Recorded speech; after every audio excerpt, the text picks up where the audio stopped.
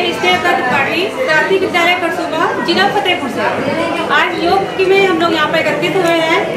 हमारे पास प्राचीन काल में स्वास्थ्य बीमा नहीं होता था, लेकिन वर्तमान में हम सभी के पास योग एक ऐसा अभ्यास है जो बिना एक पैसे खर्च किए हमें हमारे स्वास्थ्य की गारंटी का आश्वासन देता है। थैंक्स